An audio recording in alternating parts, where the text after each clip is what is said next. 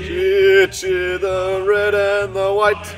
Honor the name by day and by night. Wave that noble banner high. Shoot down the thunder from the sky. Whether the odds be great or small, I'm will go in and win overall.